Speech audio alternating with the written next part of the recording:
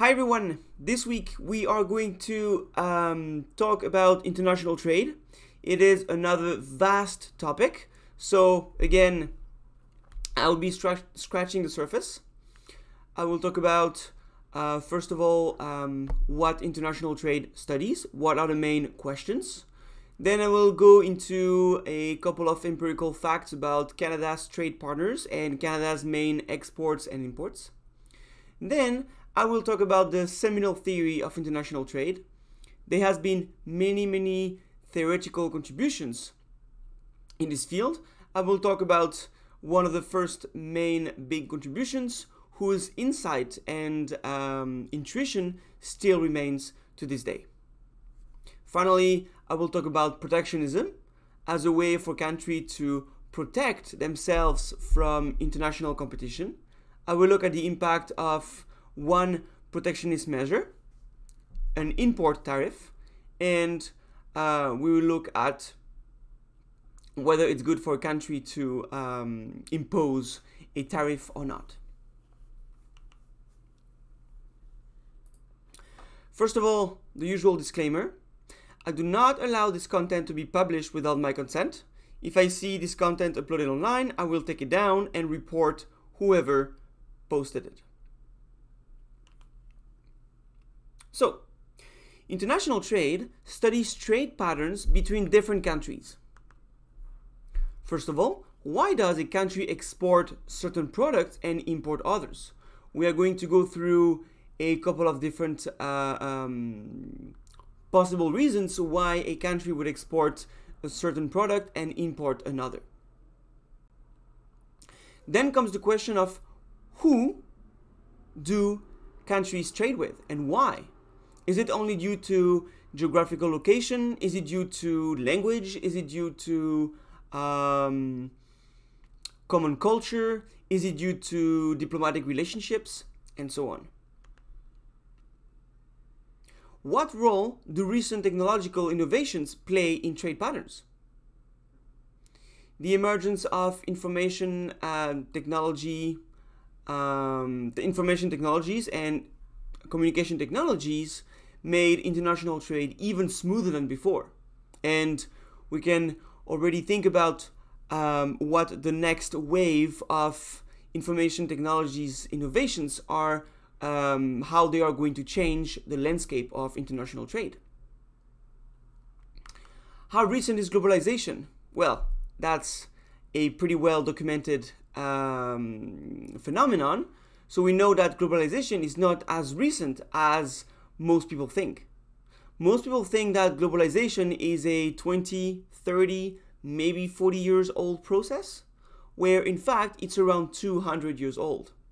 It's just that globalizations has known different phases, different waves, um, due to different phenomena, in particular the emergence of some uh, innovations, some technologies.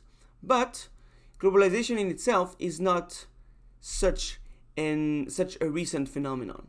It accelerated recently over the past 20 years, that's for sure, but it started a long time ago. Before I get into some empirical facts, let's get into some very, very basic definitions so that we know what we are talking about.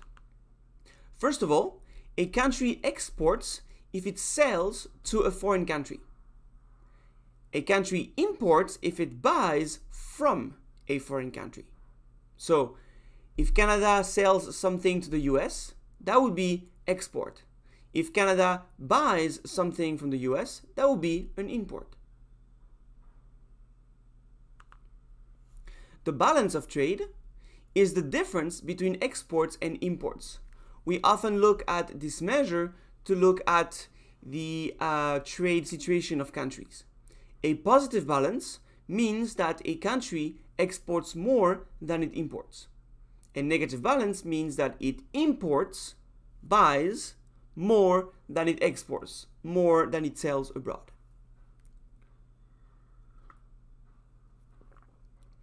Another common measure to look at the situation of a country in terms of international trade is the terms of trade. It is the ratio of export prices to import prices. Often, we look at how terms of trade evolve, either over time or after a um, after a certain event, and so on, to see how um, how favorable or not favorable position a country is.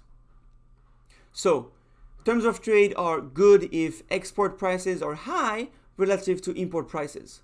On the other hand, if import prices are relatively high as opposed to export prices, terms of trade will be low or we will say that they deteriorate.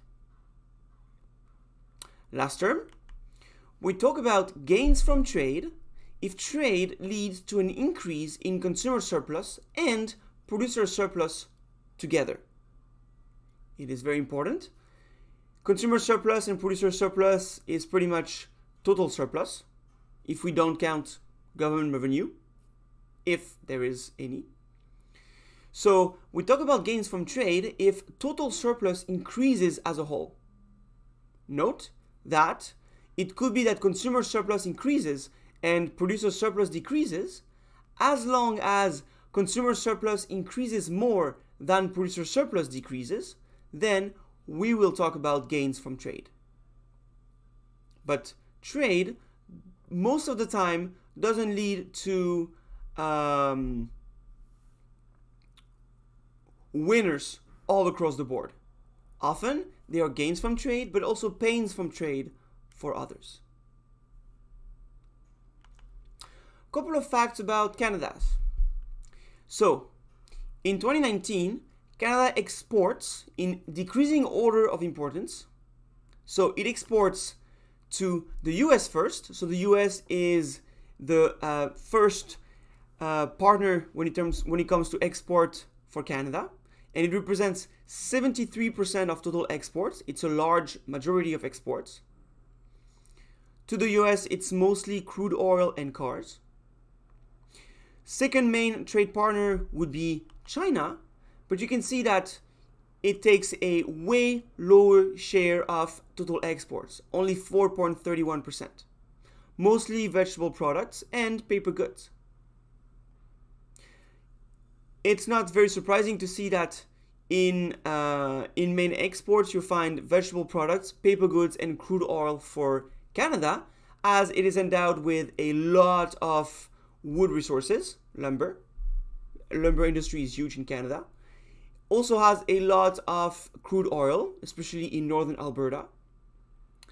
And it uh, is endowed with a lot of flat, uh, nice fields, in particular in the prairies, which is pretty much Alberta, Saskatchewan, and Manitoba, where vegetable products are being grown.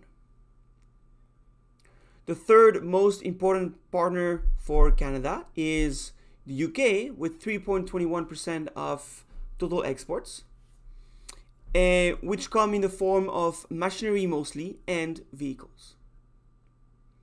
Last, well, fourth main partner of Canada is going to be Japan with 2.6% of total exports, mostly mineral products. Canada, after all, is also endowed with a lot of natural resources, natural mineral products. I don't know if you're aware, but um, Canada is also uh, well endowed with diamond resources. In the north of British Columbia, you have Northwest Territories, where in the north of Northwest Territories, there are some some big diamond sites that ex- where uh, companies extract diamonds, then to be polished and sold for retail. Interestingly, Japan imports a lot of pig meat from Canada. It's very interesting that we talk about pig meat in particular, but uh, I'm sure you're aware of uh, Wagyu beef and Kobe beef in Japan. So I'm guessing that uh, in terms of farming, there is a lot of um, there is a lot of beef going on. I guess chicken as well, since chicken is also pretty important in um, Japanese diets, but it's mostly fish that um, Japanese eat in terms of animals, and they have a massive fishing industry. Now, what about imports? Well, the US are the main partner for exports, but they are also the main partners for imports. So you might think at this stage, well, it could be because of culture. After all, Canadian culture and American cultures are very similar. It could be geographical location. After all, they share a common border, a land border by land, which is pretty wide. And they might also share um, very friendly diplomatic relationships. So Canada imports mostly vehicles, machinery, and mineral products. Another interesting fact is that Canada import, imports vehicles, machinery, and mineral products, but also, but also exports them. Of course, those are different products and they come in various forms, which explains why Canada exports and imports uh, the same category of goods. Second main partner for imports is going to be China, same as exports, but in terms of imports, China represents a bigger fraction. Mostly machinery, including computers. Then third comes Mexico, with mostly vehicles and machinery. That could be due to, well, a um, graphic, geographical location. After all, transportation by land is still cheaper, I believe, than transportation by sea. But also the fact that Mexico is a developing country, so it might be cheaper to import uh, things from Mexico than producing them in Canada. What about products? The previous slide, I talk about all the different partners, and each of the partners um, trade different types of products. But what is the majority of products that Canada exports? First, it's going to be mineral products in the form of oil, gas, maybe diamond, and other metals. It represents about 23% of total exports. Vehicles and vehicle parts represent 14.3% of Canada's exports. So, they might not assemble cars in Canada, but Canadian firms produce parts that then are going to be shift, shipped to another country, and in that other country, the full uh, product will be assembled. It is the same with an iPhone. You can find online the breakdown of an iPhone production, where it takes six, six or six or seven different firms located in different countries to produce different parts and then it takes another firm in another country to assemble all those parts to obtain a full iPhone. If you think about the LED screen, for instance, well, it turns out that LG and Samsung are the ones producing the screens for Apple, interestingly. They are competitors when it comes to competing over final products, phones, but Samsung and LG sell their LED screen technology to Apple. Then the GPS um, of, an, of, uh, of, an iPhone is made, I believe, in Switzerland or France. Uh, some of the chips are made in the US. Um, the battery, I believe, is also made by Samsung or something like that, at least for maybe a small, like an older model like iPhone 6. But it's another country that assembles all of those parts. Machinery, appliances, and equipment represent about 11.4% of Canada's exports.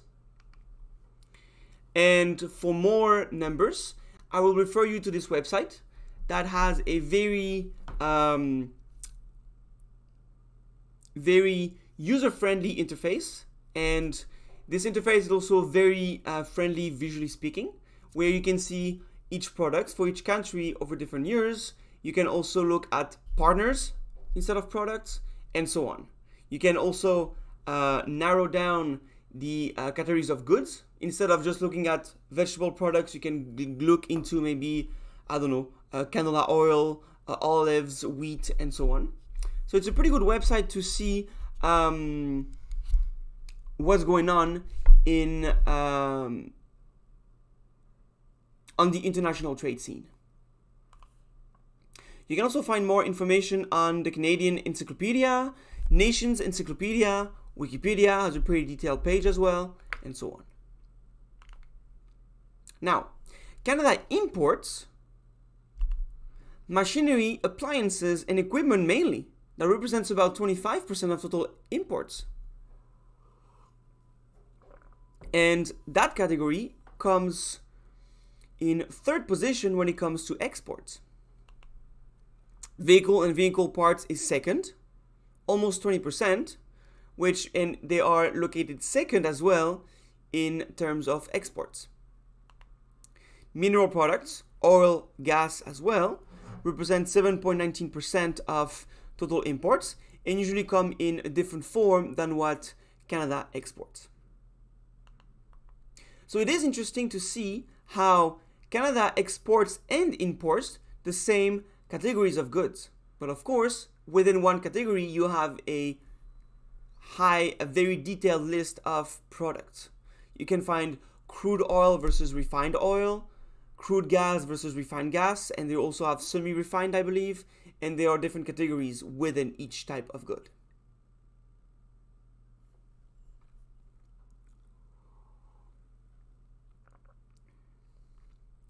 Now, let's talk about the seminal theory of international trade. So here, I'm going to expose you to one of the most fundamental results of international trade. It was uh, found a very long time ago, in the 1700s, but its intuition still remains, although many refinements have been found over the years. Let's start with Adam Smith. Adam Smith at some point did some work on specialization. In particular, he was studying productivity in uh, firms. He recommended that a country specialize in the activity for which it has an absolute advantage of, over others in terms of productivity. An absolute advantage is a situation where a country can produce a good for a lower cost than another country. In this case, we will say that country A has an absolute advantage in the production of good 1 over country B. Now, this makes sense. If it costs you less to produce a good than your neighbor, then you should produce the good. You can sell it to your neighbor it is more efficient and your neighbor can maybe focus on something else, can focus on a good that is cheaper for him to produce. But what happens if a country has no absolute advantage? Think about France, for instance, nowadays. France is a developed countries, developed country. Wages are pretty high. There are minimum wage laws. Uh, labor unions are pretty strong. Productivity is high, sure, but it doesn't come at a uh, low cost. So I'm pretty sure that France experiences higher cost, like French firms experience higher cost of producing goods if they want to produce them in France. So what should France do? Import everything and export nothing? Well, Ricardo stated, Ricardo um, came um, out a bit later uh, after Adam Smith. He stated that what matters is not the notion of absolute advantage, but the notion of comparative advantage. What does that mean? Well, I'll get at, I'll get into that in a minute. So, in his model, he considers two countries, two goods. And he looks at a case where one country can produce both goods at a higher cost than the other. So, one country has an absolute advantage in the production of both goods.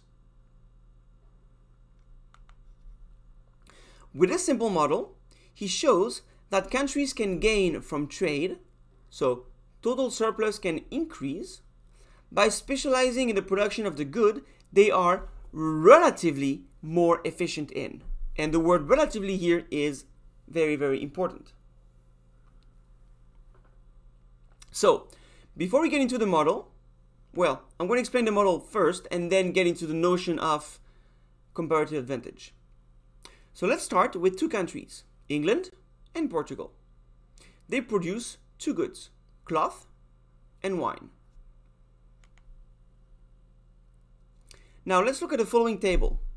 It shows the number of hours needed in each country to produce one unit of each product. So for instance, England, in England, 100 hours of work are needed to produce one unit of cloth. In Portugal, it takes 90 hours.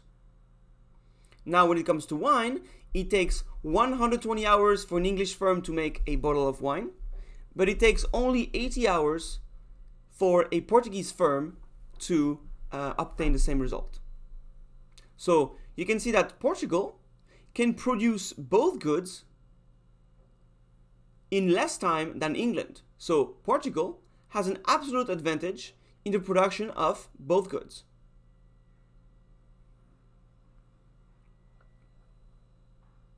So if we listen to Adam Smith, we would be thinking, well, then we should just let Portugal produce everything and England will just import.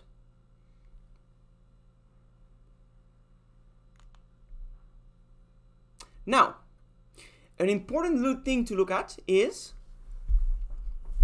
look at what England can produce in 100 hours of work. Well, in 100 hours of work, it can produce one unit of cloth.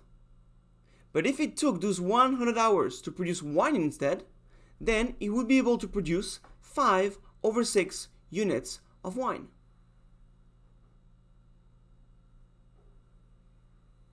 Okay? Now, let's do the same thing with Portugal.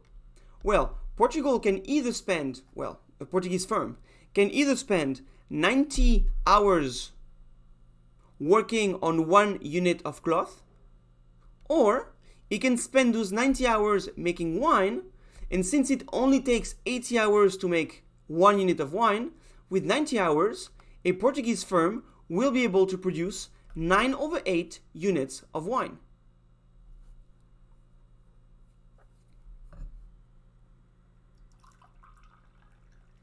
Now, comparing England and Portugal, in the amount of time each needs to produce one unit of cloth, England could produce less wine than Portugal.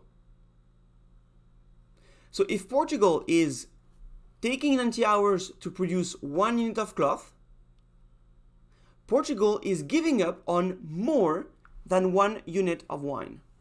England, however, would be giving up on less than one unit of wine. And this is where the notion of comparative advantage is going to kick in. England has a comparative advantage in the production of cloth because its opportunity cost of producing cloth is lower than Portugal's. Portugal, however, has a comparative advantage in the production of wine because its opportunity cost of producing wine is lower than England's. Remember, in the labor economics lecture, I talked about the notion of opportunity cost. This is the next, uh, well, this is the uh, value of the next best option that was giving up given up on. So if, if England decides to make one unit of cloth, its opportunity cost of making cloth is going to be equal to 5 over 6 units of wine. This is what England is giving up, sorry, this is what England is giving up on by deciding to make one unit of cloth. However, Portugal is giving up on 9 over 8 units of wine. So Portugal has a higher opportunity cost of cloth. If it decides to make cloth, is giving up on more wine than England. So England has a comparative advantage when it comes to producing cloth because it does not give up on that much wine. Portugal, for Portugal, it's going to be the other way around. If it takes 80 hours to make wine for Portugal, Portugal, by taking those 80 hours, Portugal is giving up on more than, uh, oh, sorry, on less than one unit of cloth. If England decided to make a unit of wine, it would give up on more than one unit of cloth. And so you can see how, in spite of having an absolute advantage in both goods, Portugal only has one comparative advantage and England has another comparative advantage. The idea is that it is relatively cheaper for England to produce cloth than wine, and it is relatively cheaper for Portugal to produce wine than cloth.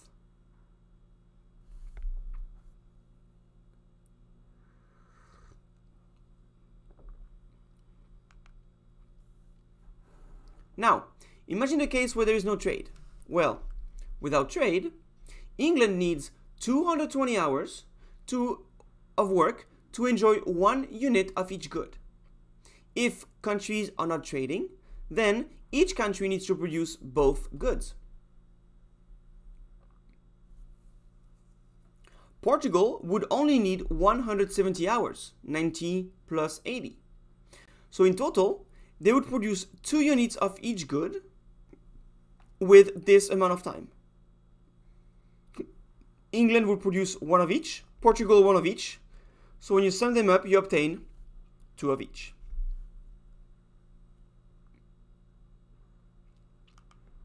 Now let's formally define the notion of a comparative advantage. A firm or country has a comparative advantage in the production of a good over another firm or country if its opportunity cost of producing that good is lower.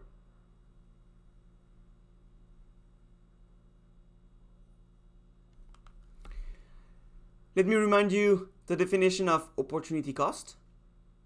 The opportunity cost of choosing an alternative is the value of the next best alternative that was given up. For instance, I probably have a comparative advantage in, um, well, what do I have a comparative? Skateboarding or maybe table tennis as opposed to basketball. Why? Because I'm really, really bad at basketball and I'm decent at skateboarding and table tennis. So if I decide to take an hour to do basketball, or if I decide to do basketball, I'm going to give up on a pretty good performance in terms of table tennis and skateboarding. But if I decide to skateboard or play table tennis, then I am not giving up a lot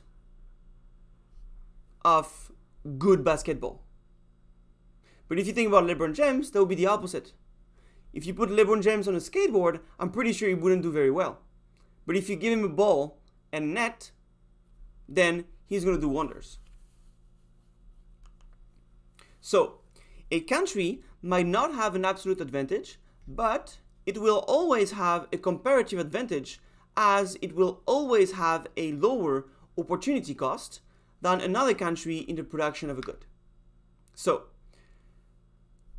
somebody might not have an absolute advantage, but somebody always has a comparative advantage. For instance, I might not have an absolute advantage in any of these sports as opposed to LeBron James. LeBron James is a phenom He's a 0.00001% top of the food chain athlete. So he could learn table tennis or skateboarding faster than I learned do sports. However, as things are now, I have a comparative advantage in skateboarding and table tennis, and he has a comparative advantage in basketball. So, let's go to the case where those uh, two countries, England and Portugal, decide to trade and specialize. Well, if England has a uh, comparative advantage in the production of cloth, then let let's let England specialize in this production and puts all of its 220 hours to make only cloth, no wine. So, since it takes 100 hours to make one unit of cloth, then in 220 hours, England will be able to produce 2.2 units of cloth. Let's let Portugal produce the wine. It can spend uh, it can spend 170 hours, but only on the production of wine. This way, it will make 2.125 units of wine as opposed to 1 unit of wine and 1 unit of cloth. Now, if you add up the total number of units made by each country, you end up with more than 2 units of each good. There is 2.2 units of cloth and 2.125 units of uh, wine. That means that consumption is going to increase as opposed to autarky. So quantities overall increased under free trade. Now, is it obvious that there are going to be gains from trade? No. If you think about it, going from autarky, where each country has to produce both goods, going from there to free trade, where each country is going to specialize, it means that some industries are going to close in each country. For instance, an industry was in charge of making wine in England before. Now that Portugal is going to be the one making the wine, that firm in England is going to shut down. So there might be some pains from trade. However, because the overall quantities increased, and also because they're produced by uh, relatively more efficient countries, then international prices will be probably in favor of consumers overall. So consumers not only will be able to consume more, but maybe also at a lower price than before.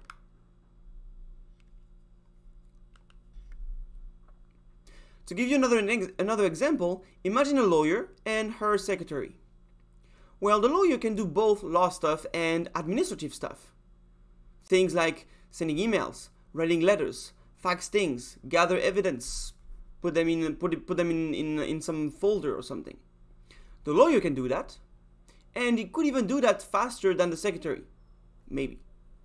But it is relatively cheaper for the lawyer to do law stuff. Because if she decides to do administrative stuff, she gives up on a high amount of law stuff, a high amount of output. And this is the same for the secretary. If you ask the secretary to do law stuff, she will give up on a lot of secretary work because she is better at secretary work, relatively.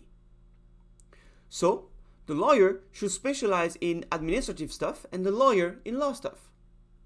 It will be more efficient this way. You can also use this, um, this concept to lead your life.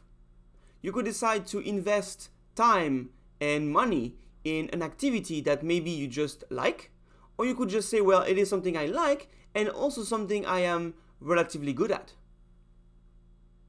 So you might have a comparative advantage in a given activity music, art, sports, academics, anything else. And you might want to invest more, more time in uh, that activity as opposed to another. I'm not saying this is what you should do. I'm saying this is something you might be interested in, but to each their own. Personally, I like to invest time and resources in something that I do not know. So, in something that I clearly do not have a comparative advantage in. But that's my style. I'm not the style, I'm not really the kind of person who likes to specialize. I prefer to be a jack of all trades. To each their own. Now, the original theory is kind of easy there is a bit more uh, math involved once once you want to look at international prices, how the world price is going to be determined, and so on. But the intuition is the same. It is one of these models where the intuition is kind of obvious once you know it, but it's not straightforward at all before you learn about it.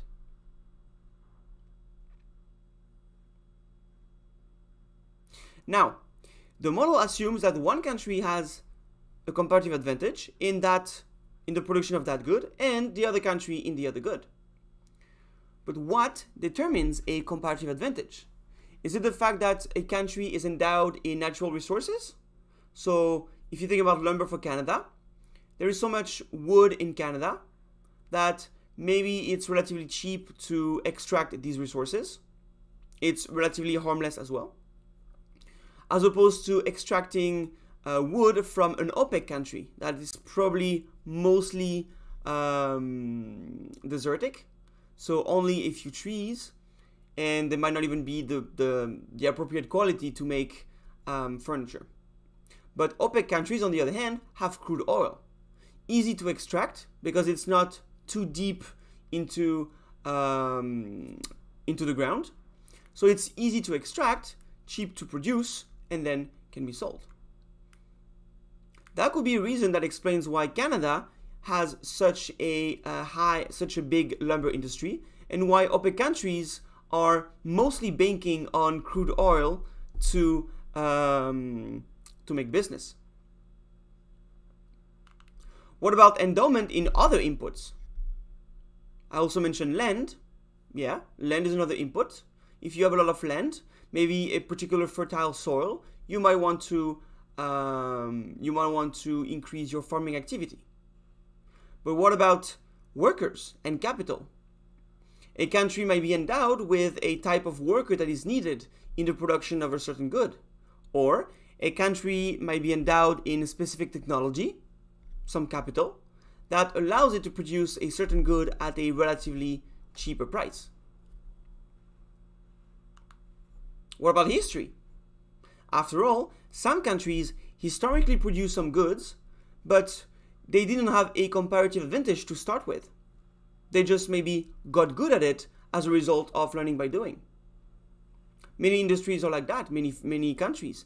They decided to invest resources in a given industry, and it's over time that this country acquired a comparative advantage. Think about Switzerland. This is the number one country when it comes to watchmaking. Is it a result of history? Well, perhaps. But I don't think that 200 or 300 years ago, Switzerland was particularly better at making watches than other countries in Europe. It could be an accident of history that the best watchmakers were in Switzerland, and Switzerland maybe invested further in uh, the watchmaking industry, so that now we know um, we mainly know Switzerland for its watches. Moreover, comparative advantage is not a static concept. It evolves over time, and trade patterns change as a result. So, Ricardo's theory is static. It says at one point in time, one country has a comparative advantage, another one doesn't. But those comparative advantage, advantages can move over time. It is possible to invest, to improve, to leave an industry to create another one. And those things are, those patterns are going to change over time.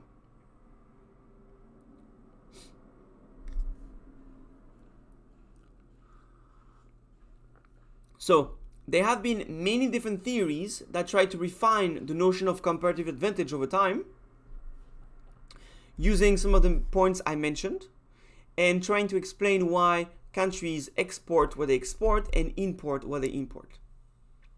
In reality, the real reason is probably a mix of all of these things.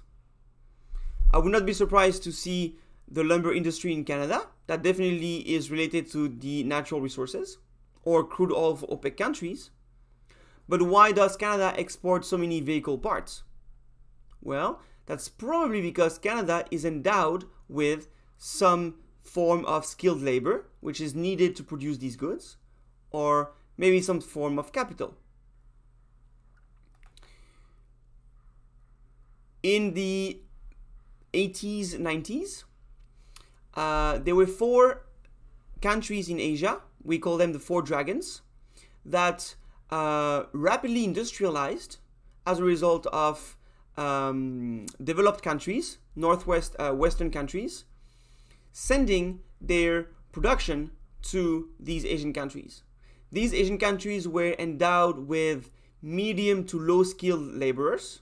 So cheap laborers, which are needed to produce uh, goods such as um, textile and shoes.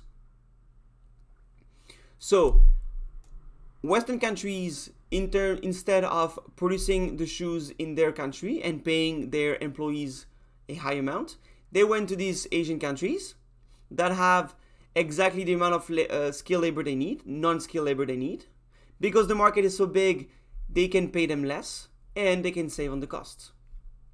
This is how Taiwan, Hong Kong, Singapore, and China is it China? Yeah, I think China is the fourth one. Uh, got to develop themselves so much, industrialize so much in the 80s, end of the 80s, beginning of the 90s.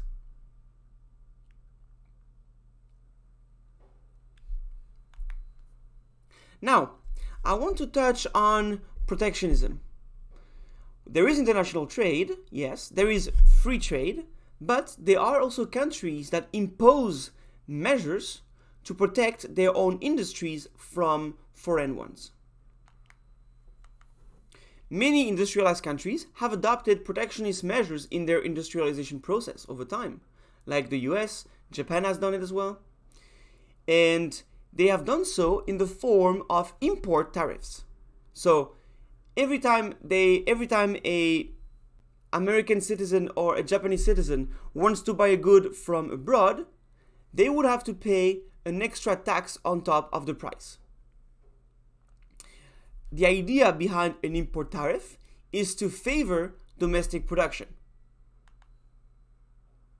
For a while, countries adopted protectionist measures to ensure their domestic demand was met with local suppliers. Make sure that local customers do not only buy foreign goods. So, let us quickly look at the impact of an import tariff on the country that imposes it. An import tariff acts as a tax on imports. We have a fairly good idea about the direction where this is going to go since in the taxation lecture I already covered the case of a quantity tax. Now things are going to be a bit more complicated because we have two countries and we have a world market. So Let's look at the initial situation. We have a world market, which will be represented by the middle graph, with an equilibrium price PW, the world price.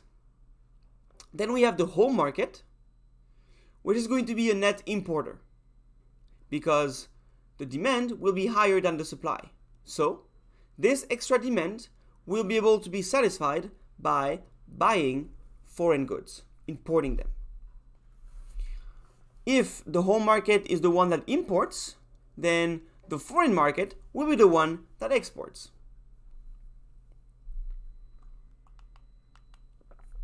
And this is what it looks like. So, P star is the autarky price. This is the original domestic price without any trade. PF is the foreign price without any trade. Now, by opening borders, we can start looking for an import demand and an export supply. Any price below this P star shows that demand is higher than the supply. So, any price below P star will lead to a shortage at the domestic level. There will be more people who want to consume, more consumers than they are available products. So this distance here, for a single price, this distance between the demand and the supply will be reflected here as import demand coming from the home country. If you take a lower point like here, this gap here will be represented here. Any difference between demand and supply will result in import demand, demand for imports. The same way I do the same thing for the foreign market. Any price above PF will show a higher supply than demand. So this gap here will translate into this gap here. And if you repeat the same process for every price above PF, then you obtain an export supply. This is the amount of goods that, this gap here is the amount of goods that foreign suppliers cannot sell to their own customers because their own customers only want this much. So this will be an amount they will put out on the international, on the world market for the home market to purchase.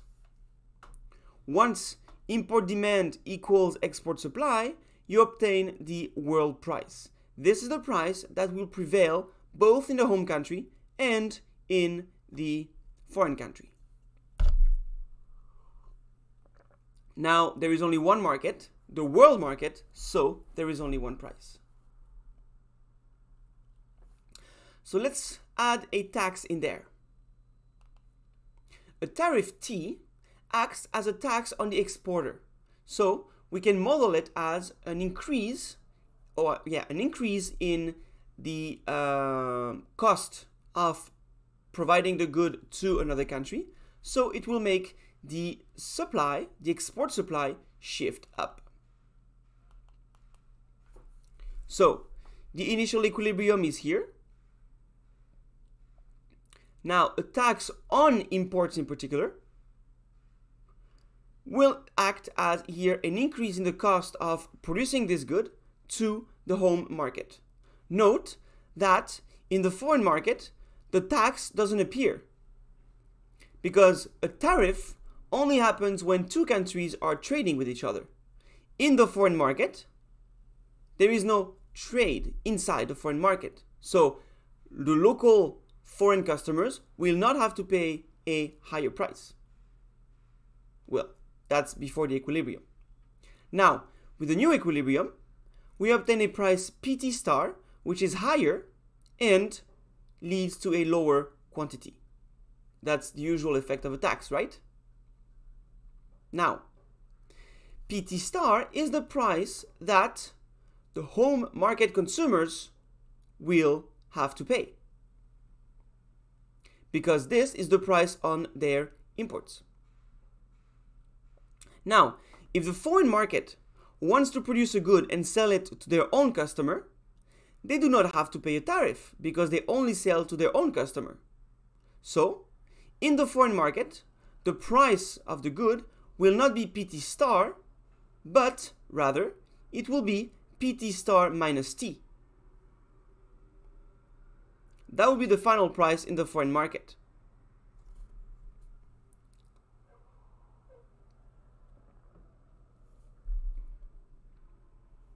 Now, let's look at what's going on in terms of surplus. Well, the initial price was PW, so consumers enjoy all this blue triangle as a surplus. Because the price is not very high, producers only enjoy this much surplus. After the tariff, the price increased from PW to PT star. So, consumer surplus is reduced. Consumers lose all of that trapezoid. Producers, however, get to sell the good on the, on the home market for a higher price. So their surplus increases. This trapezoid here now goes to the producers. The government is going to make some revenue coming from the imports. So we need to look at the difference between supply and demand to see how much goods will be imported. At PT star, consumers will purchase this much, local producers will produce this much. So the difference will be coming from the foreign country in the form of imports. The tax T is equal to the difference between PT star and PT star minus T.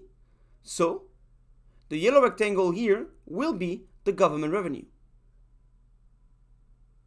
Now, let's look at the difference between before and after. Note that area A, B, and C here used to be here. they used to go to the consumer. So they used to be consumer surplus. Now, area A and C are not surpluses at all, and area B is part of the government revenue. Note as well area D, which is also part of the government revenue, but it used to be no surplus at all. So on one hand, we have an increase in surplus coming from area D. Area B used to be consumer surplus, now it is producer surplus, now it is government revenue, so no change there. And area A, areas A and C are um, are represent a loss in surplus compared to the before tax situation. So the net effect will be A plus C minus D. The relative size of A, C, and D will tell whether they are gains from trade after imposing an import tariff. So, the net effect is ambiguous, it all depends on the relative size of A, D, and C.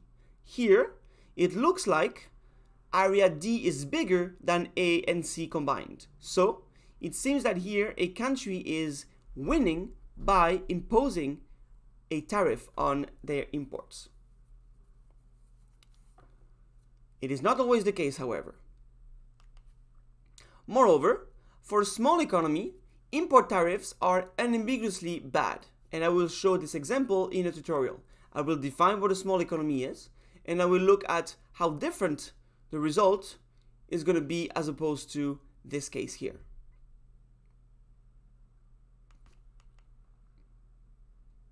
The idea is that it can be beneficial to impose a tariff if nobody else retaliates with a tariff of their own. If you're Canada and you want to favor the um, the cheese industry, and you decide to impose a tariff on French cheese products, well, good for you. French cheese is going to be more expensive, so people will buy more Canadian cheese. At the same time, France might decide to retaliate and say, hey, why did you put a tariff on my cheese? I'm going to put a tariff on your maple syrup or on any of your products. So the problem is it can lead to a trade war. And this is one of the reasons why most of the time tariffs drop across country at the same time. Usually countries talk to each other and negotiate the decrease in some tariffs together. Over time, tariffs decreased and trade as a percent of GDP increased. While there is a high correlation relationship here, I cannot tell yet whether it's going to be a causal relationship or not. Did trade increase because tariffs decrease? Or did tariffs decrease because trade increased? Once people realize how important trade is, maybe they decrease tariffs, or they decreased tariffs first and then realized, oh yeah, let's trade more then. That's not clear. Lowering tariffs on one side is also a signal for the other side to lower them too. And once tariffs are lower, no one has an incentive to increase them. So it is a, uh, of course, there is a bargaining process going on, but one of the reasons we see tariff decrease for different countries at the same time is that those uh, tariff uh, tariff decreases are negotiated bilaterally or multilaterally. Countries do not lower the tariffs on their own without saying anything. Usually they could say something like, I will lower the tariff on your goods if you lower your tariffs on mine. There has been a rapid increase in bilateral free trade agreements over the past 40 years. European Union is one of them. It's a regional trade agreement that is free of um, free of, ta- of uh, tariffs.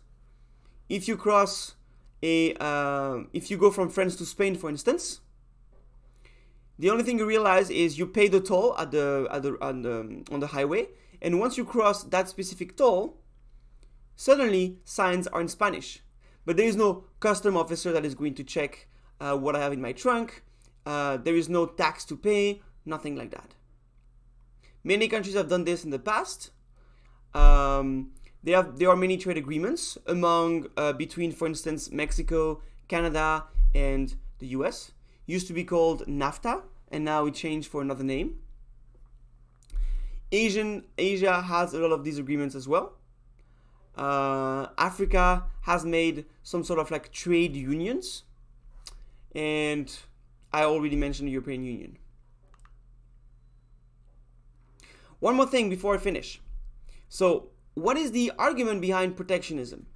Well, the idea is to help infant industries with a potential comparative advantage to grow and get strong enough to face international competition.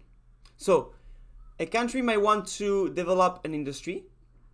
The industry is not competitive enough at the international level, so they are imposing tariffs on international competitors so that local customers, domestic customers, will purchase from domestic firms, which will help the industry grow and develop. Now, there are arguments, that's one argument pro protectionism, but there are also other arguments against this idea of growing an industry. Well, the first argument is if this industry has a potential comparative advantage but doesn't have one clearly yet, why should this industry be helped and subsidized by the government?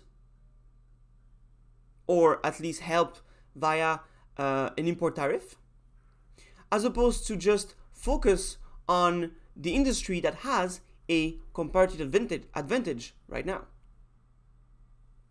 So it might not be ideal to move today to an industry with a comparative advantage in the future. Also, it doesn't help if the industry does not improve eventually. So you need to make sure that those protectionist measures are going to help this industry be sufficiently competitive in the future so that these protectionist measures will then be dropped. So let me finish. I know I'm a bit late, sorry about that. There is much more to say about international trade. Again, I barely scratched the surface. Globalization is not a, such a recent phenomenon, but the evolution of information technologies accelerated it. Production now isn't bundled. I mentioned that for iPhones, some parts are made here, another there, another there, and everything assembled in another place. Same for cars. Many goods of this kind are not produced under one single roof. Each part is produced by a firm that has a comparative advantage in its production, pretty much. Because of that, countries are more and more interdependent and they share aggregate risks. Think about the COVID 19 pandemic. Last year, pretty much a year ago, France didn't have any masks to equip its population. Even uh, um, healthcare workers barely had any equipment. They had to reuse some masks. They could not like just change them because they didn't have they didn't have enough. At some point, France was about to buy around 60 million masks from um, China, and right about when the plane was supposed to go to France with this uh, shipment, the US made a better offer, and that plane ended up going to the United States. My point is, France was relying on other countries for a uh, first necessity equipment, like sanitizing equipment and masks, and when France was in dire need for this equipment, somebody else got priority. And this is the risk. If you don't produce those things and you need them from another country, what happens if that other country needs those go those uh, goods as well? Then you might not get priority and it might be hard for you to get access to these goods. That's something to take into account. Now let me point you to other resources to take a look at international trade patterns. This website has a very user-friendly interface and uh, shows you some charts and globalization trades and patterns. The OEC website also has um, a great amount of resources, a great interface where you can look at um, trade patterns per country, per products, and so on. So I really um, advise you to take a look at um, these resources, at least to know more about what your country imports and exports. That's always interesting to know. And maybe you might find a sector in which to invest time and resources for a potential future career. That's it for this lecture on international trade. Have a good rest of your week and see you in the next one. Bye.